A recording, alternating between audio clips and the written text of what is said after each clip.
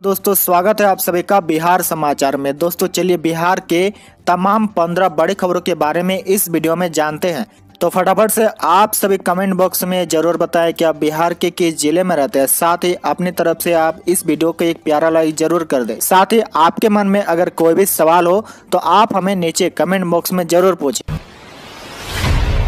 आज की सबसे पहले खबर मुकेश सहनी मंत्री पद से बर्खास्त। बीजेपी की मांग पर सीएम नीतीश कुमार ने राज्यपाल को हटाने की भेजी सिफारिश। जी हाँ, विकासशील इंसान पार्टी के मुखिया मुकेश सहनी को बोचाहा उपचुनाव और यूपी चुनाव में बीजेपी से भिड़ना महँगा पड़ गया है। रविवार को सीएम नीतीश कुमार ने राज्यपाल से उन्हें बर्खास्त करने की सिफारिश कर दी है। आपको बता दें की सहनी फ़िलहाल बिहार के कैबिनेट में पशु व मत्स्य संसाधन विभाग के मंत्री थे। सीएम ने लेटर जारी कर कहा है की बीजेपी ने लिखित तौर पर कहा था की सहनी अब एनडीए का हिस्सा नहीं है। उनको मंत्री पद से हटाया है। इस कारण यह कार्रवाई की गई है। आपको बता दें कि पिछले तीन दिनों से बीजेपी सहनी से मंत्री पद से इस्तीफा देने की मांग कर रही थी लेकिन उन्होंने इससे इनकार कर दिया था। उन्होंने कहा था कि मैं सन आप मल्ला हूँ उनके अधिकार के लिए लड़ाई लड़ता रहूँगा। मेरी कोई गलती नहीं है। अपने समाज के लिए आरक्षण मांगा है। सभी जगह आरक्षण मिला है। बिहार में नहीं मिला।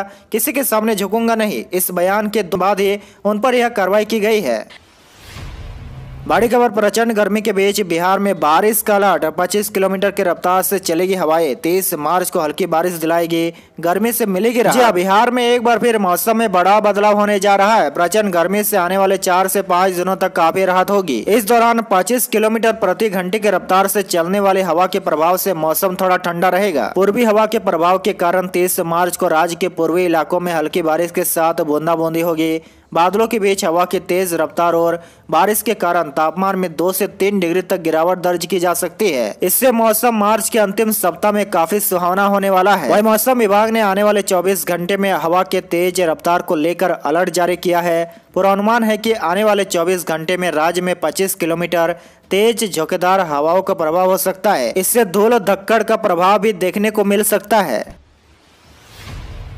अगली बड़ी खबर आज जारी हो सकता है। B B Bihar board matric का रिज़ल्ट। जी हाँ, बिहार विद्यालय परीक्षा समिति मैट्रिक वार्षिक परीक्षा के परिणाम सोमवार यानी आज 28 मार्च 2022 को जारी किए जा सकते हैं। बिहार बोर्ड दसवीं के रिज़ल्ट घोषित होने के बाद बोर्ड की आधिकारिक website Bihar board online dot Bihar dot government dot in व Bihar board online dot com पर चेक किया जा सकता है। बिहार बोर्ड के सूत्रों के अनुसार टॉपर्स की कॉपियाँ बोर्ड ऑफ़िस में आना शुरू हो गई है और विषय विशेषज्ञों से उनकी रीचेकिंग कराई जा रही है। मेरिट लिस्ट में टॉप पर रहने वाले सभी विद्यार्थियों की सूची शनिवार तक बोर्ड कार्यालय में पहुँच चुकी है। अब बोर्ड एक दो दिनों में टॉपर का इंटरव्यू पूरा करके अट्ठाईस मार्च को रिज़ल्ट जारी कर सकता है।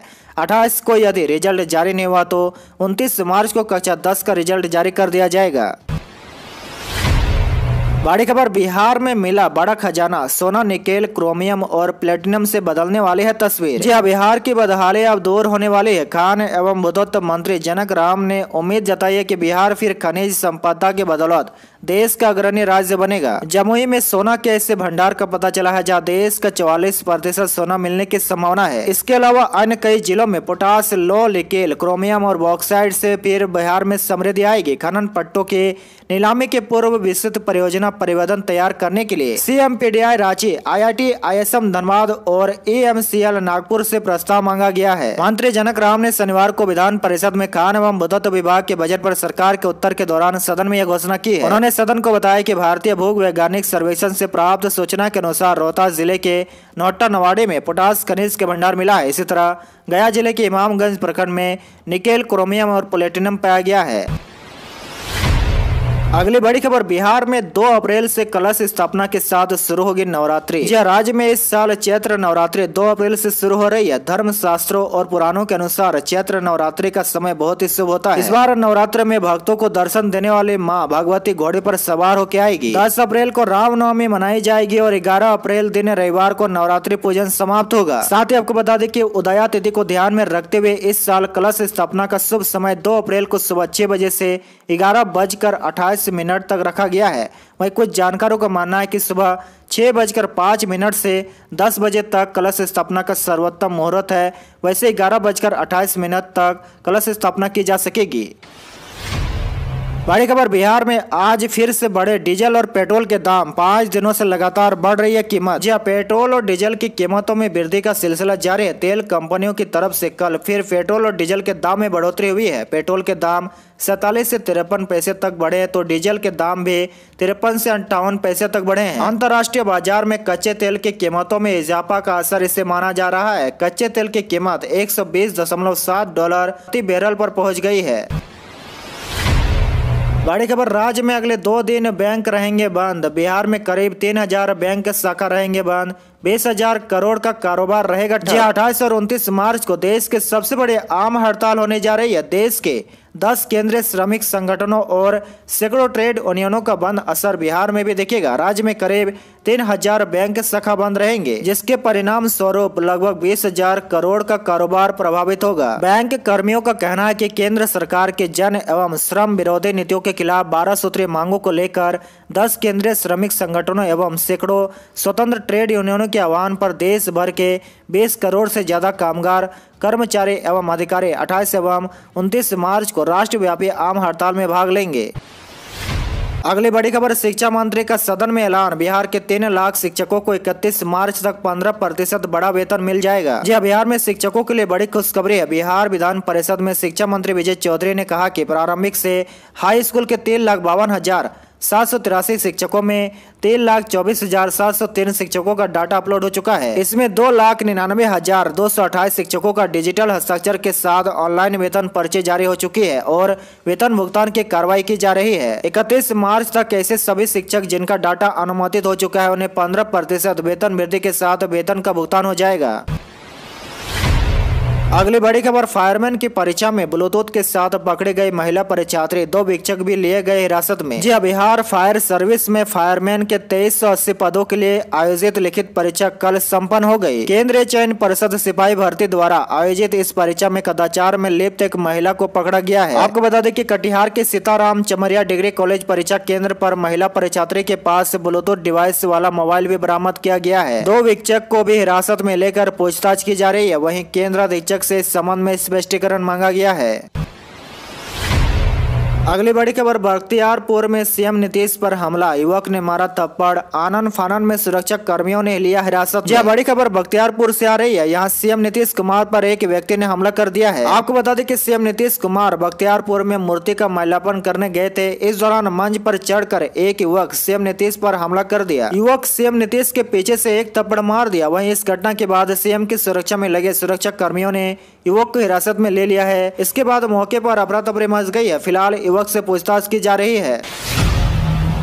अगली बड़ी खबर गर्मी में बिजली का बिल जमा नहीं करना पड़ेगा महँगा। बिजली विभाग का सख्त कदम एक हज़ार से अधिक के बकायेदारों की भी कटेगी बिजली। जी हाँ, गया में South Bihar power distribution company ने गर्मी का पारा चढ़ते ही एक नया फरमान जारी कर दिया है। एक हज़ार रूपए ऐसी अधिक का बिजली बकाया किसी उपभोक्ता के घर का है तो उसके घर की बिजली काट दी जाएगी। उपभोक्ताओं की सूची तैयार कर कार्रवाई की बात कही गई है। शहरी क्षेत्र के कार्यपालक अभियंता दीपक कुमार ने बताया की गर्मी के बढ़ते प्रकोप और बिजली बिल जमा नहीं करने की टेंडेंसी को देखते हुए बिजली विभाग ने सख्त कदम उठाया है। उन्होंने बताया कि गया शहरी क्षेत्र में बौद्ध गया में सिर्फ़ 90 करोड़ रुपए बकाया चल रहा है। मार्च 2022 में राज्य मुख्यालय द्वारा 30 करोड़ रुपए का लक्ष्य दिया गया था। अब तक महज 18 करोड़ रुपए ही वसूले गए हैं। एक से 25 तक बकाया रहने के कारण अठहत्तर सौ उपभोक्ताओं की बिजली काट दी गई है। जरूरतमंदों को सितंबर तक मिलेगा मुफ़्त में राशन। पीएम गरीब कल्याण योजना को छह महीने और बढ़ाया गया। जी हाँ गरीब और जरूरतमंदों को अब सितंबर 2022 तक राशन फ्री मिलेगा। प्रधानमंत्री गरीब कल्याण अन्न योजना को अब छह महीने के लिए और बढ़ा दिया गया है। सरकार के इस फैसले से अस्सी करोड़ से अधिक लोगों को लाभ मिलेगा। पीएम मोदी ने इस बात की जानकारी ट्विटर के माध्यम से दी है। उन्होंने कहा की भारत वर्ष का सामर्थ्य देश के एक एक नागरिक की शक्ति में समाहित है। इस शक्ति को और मजबूती देने के लिए सरकार ने प्रधानमंत्री गरीब कल्याण अन्य योजना को छह महीने और बढ़ाकर सितंबर 2022 तक जारी रखने का निर्णय लिया है। देश के 80 करोड़ से अधिक लोग पहले की तरह इसका लाभ उठा सकेंगे। गौरतलब है कि प्रधानमंत्री गरीब कल्याण अन्य योजना की अंतिम तिथि इकतीस मार्च 2022 थी। इस योजना के ऐलान मार्च 2020 में हुआ था। कोरोना काल में गरीबों को मदद पहुँचाने और कोरोना महामारी से लोगों में हुए तनाव को कम करने के उद्देश्य से इस योजना की शुरुआत की गई थी।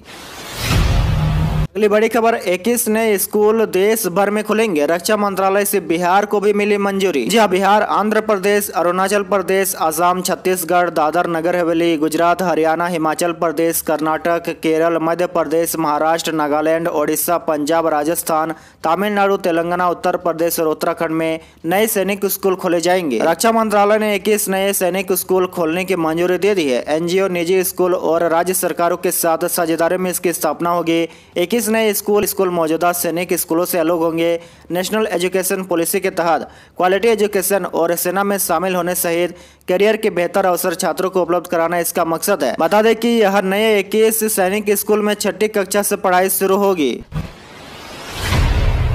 बड़ी खबर बिहार वासियों को सौगात। सभी राशन कार्डधारी परिवारों को पाँच लाख तक मिलेगा मुफ़्त इलाज। जी हाँ, बिहार विधानसभा ने आगामी वित्तीय वर्ष के लिए स्वास्थ्य विभाग के एक अरब चौतीस करोड़ रुपए से अधिक की बजट अनुदान ध्वनि से पारित कर दी। विधानसभा में स्वास्थ्य मंत्री मंगल पांडे ने बजट पर हुई चर्चा का जवाब देते हुए राज्य में कोरोना के दौरान स्वास्थ्य विभाग द्वारा उठाए गए कदम की चर्चा की। उन्होंने मुंगेर और मोतिहारी में दो मेडिकल कॉलेज और डेढ़ सौ डेढ़ सौ बिस्तरों वाले अस्पताल की स्थापना किए जाने की घोषणा की है। इसके साथ ही बिहार के सभी राशन कार्डधारी परिवारों का प्रति वर्ष पाँच लाख तक का मुफ़्त इलाज होगा। फ़िलहाल राज्य के साढ़े पाँच करोड़ लोगों को इसका लाभ मिल रहा है। अब बिहार सरकार अपनी राशि से इसका लाभ पर चार करोड़ और लोगों को देगी।